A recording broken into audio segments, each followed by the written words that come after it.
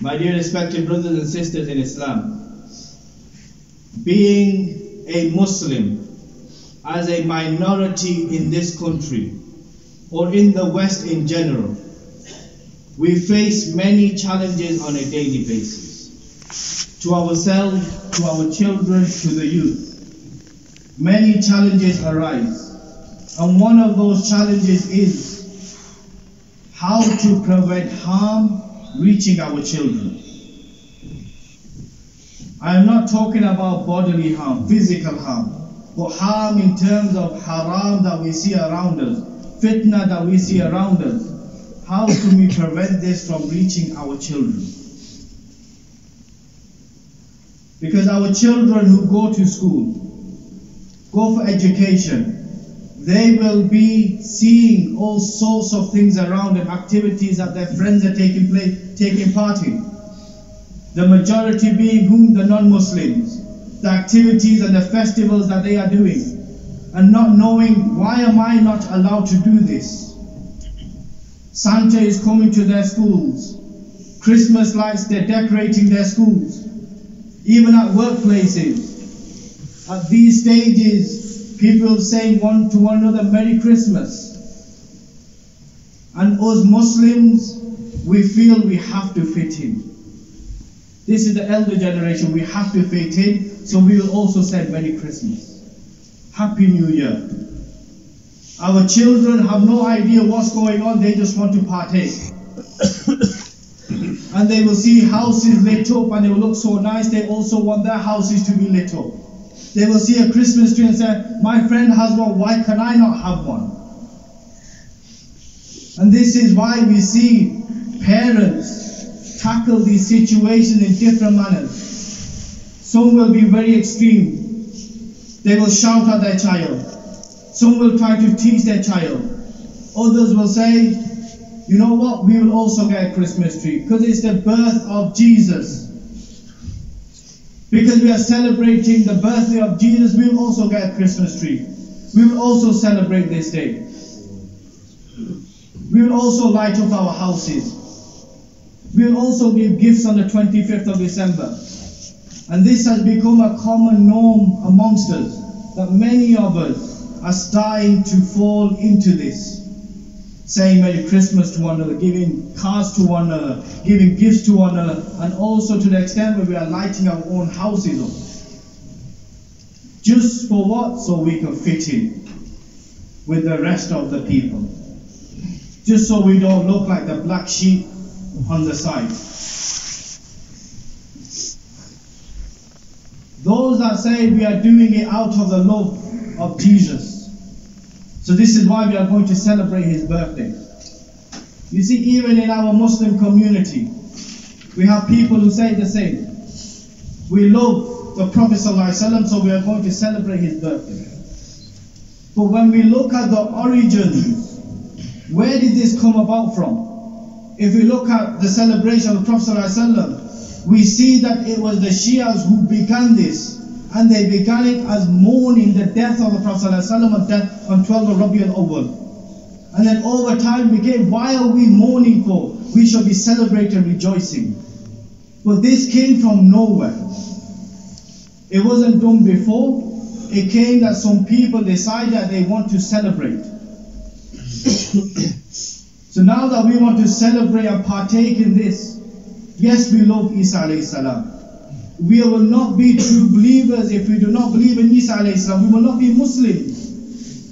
We believe that Allah subhanahu wa ta'ala sent Isa alayhi salam on this earth with a sharia, with a governing body. And he told the people and, brought, and told them about the tawheed of Allah subhanahu wa ta'ala. And then he was raised to the heaven. And then he will return at the time of the and Imam Mahdi. We believe this and we hold firm to this. And he will govern on this earth with justice. This is a part of our iman. But this does not give us justification. This does not allow us to then celebrate his birthday or imitate the kuffar in what they do.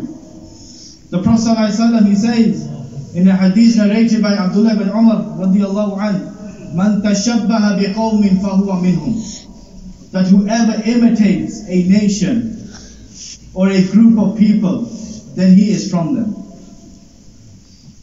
And one thing I want to mention here is when we are talking about imitating, some will say imitation is everything that the kuffar will do.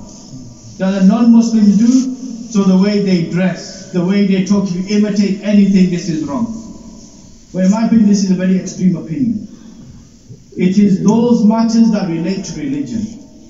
For example, if a non-Muslim wore a hat that you liked, and you wanted to copy the same hat, you are imitating him, but you have nothing to do with religion.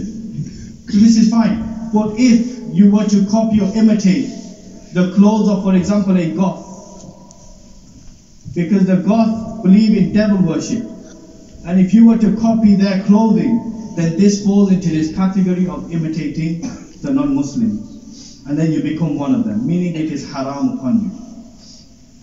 So following anything when it comes to religion matters, religious matters. And this, what we are doing now, is following the non-Muslim, the Christians, by celebrating Christmas the way they do it. We are falling into this imitation.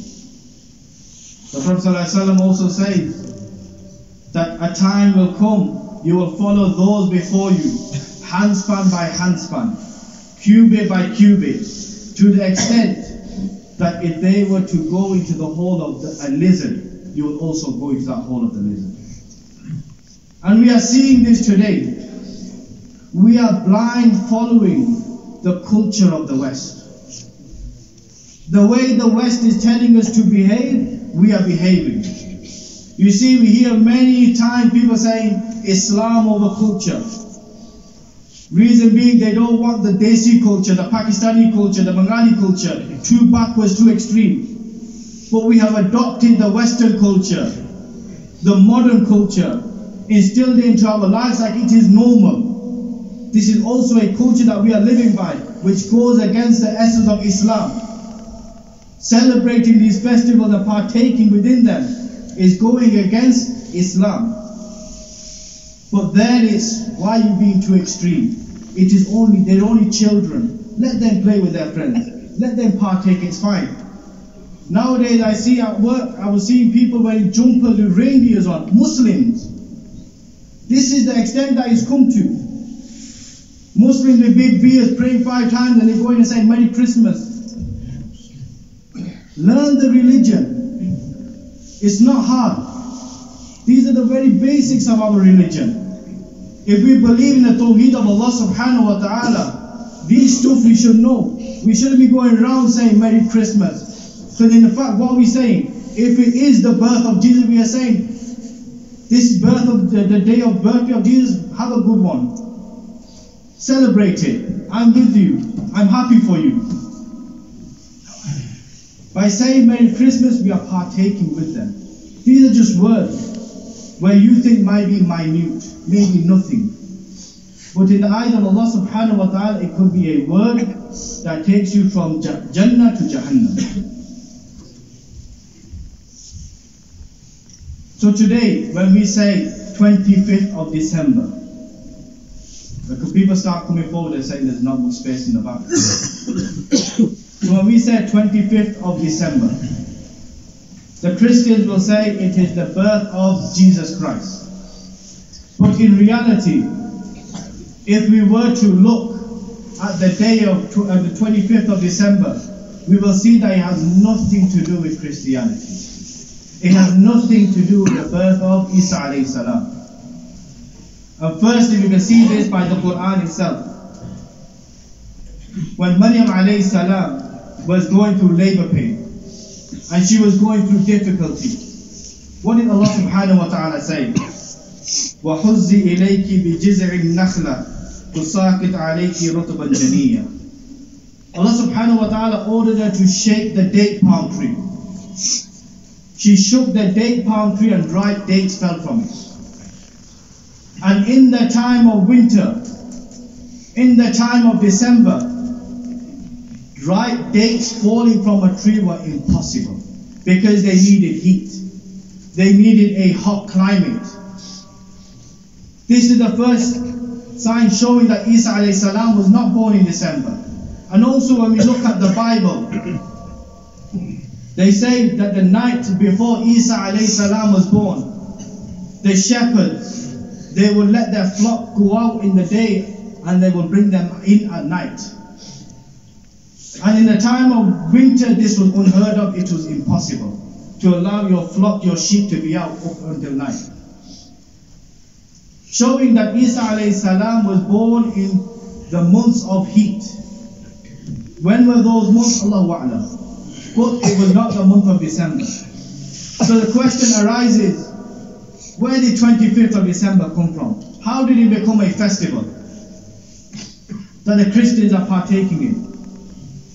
The Eastern European countries, sorry, the Northern European countries, many of them, after 21st of December, would suffer from no light, leading to many people dying. It would be cold, there would be no light, and people would die. And then the moment they would get some sun, they would start to worship their false god, the sun. These are who worshippers of the sun. So they will worship the sun, thanking the sun that they have given them some light. And this, they said, would usually occur on the 25th of December. And the Roman, on the 25th of December, would have a celebration called Saturnalia, where they would worship their son called Saturn on this day, 25th of December. And on the 25th of December, they would gather around and give gifts to one another. They would make sajda and dua to their sun, to their God. And they would see that out in this winter period that all the trees are dying except this one fir tree. So what they would do, they would cut this fir tree and they would bring it to their homes. They would decorate, put lights on it, and put apples on it. And today, those apples, what do we see as? Those round balls, the red, white, and blue balls. They will put light around they will put lights on their home. They will cut parts of the tree and put it on their doors. Because they felt that this tree was going to give them barakah. They felt this tree was a source of peace for them. They felt that this tree was going to bring ease to their life and comfort to their life. And what is this tree? The Christmas tree that we see today. Look at the origins where it comes from. Today, when we look at it, we are thinking it is just a festival that they are doing. That maybe they just started a couple of years ago. But look at the origin. When did they begin? Over centuries before Isa alayhi salam was even a messenger. Centuries before. This is how it began, 25th of December, as a Roman pagan festival. So one asked the question, how did it come to uh, the Christianity? How did they adopt this? Because Christians were against this festival. The Church of England had banned this festival up until the year 1647. People, Christians, were not allowed to partake in this. 400 years roughly after Isa alayhi salam was raised by Allah subhanahu wa ta'ala. The Christian missionaries, what they would do, they would go and give da'wah. Just like we show you, they would you go and give da'wah to the people. They would go and give da'wah. What would happen is the Romans would capture these priests or Christians, wherever they would find them. And one pleasure they would take out capturing was they would throw these captives to lions and tigers and watch them get eaten alive. So what happened was when these missionaries were caught, three, four hundred years after Isa salam was raised, they asked, or they were in that situation that they wanted to get out of captivity. So they said to the Romans that let's come to an agreement. We'll accept some of your festivals. So what happened? The line between Christianity and paganism. So the people of Shirk came to the point where it was blurred. Because the common folk, what we see today, we will listen to the guy delivering the speech, or the khutbah and we'll feel, oh, he's correct on what he said. We won't go back and we won't go research what he has said. But we will take it blind eyed and we'll say he is correct on what he said and we're going to follow him. So when these Christian missionaries, priests, told the Christians that we are adopted, that 25th of December is our festival. 25th of December we are going to rejoice and celebrate. The Christians were ready to celebrate because they had no knowledge of their religion. They followed what these priests said. Was 25th of December they adopted this festival because they made a change. From being the worship of the sun, being Shams, to the worship of the Son of God. They changed the word sun from Shams to Ibn. Who is son of God do they say? Isa alayhi salam. They claim that he is the son of son of God. So they changed 25th of December to the celebration of the birth of the Son of God. And this became a common practice. And after 1647 is when you will start seeing lights in houses. And some practices are still here today, the Christmas tree, the lights. Why? Because it was a festival of light. Because the Romans celebrated that day because of the sun. And today the Christians have adopted the same ideology, but just changed one thing. And it has nothing to do with Christian, Christians. Nothing to do with Christians. This day, 25th of December. But now we are in this period, festive period, that they call Christmas. In two days, they are going to be celebrating. And many of us, I remember somebody messaged me on a Sunday, we're going to have a feast in our house. And we're going to have a feast in our house. Christmas. Many of some of them here probably thinking the same, we're going to have a feast in our house on Christmas. Well, I, my brothers, you do not understand. You making that day like a celebration or a happy occasion, you are also celebrating with them. And don't think you are celebrating the birth of Jesus. You are literally celebrating those who worship the God, those who worship the Son. This is what you are partaking in.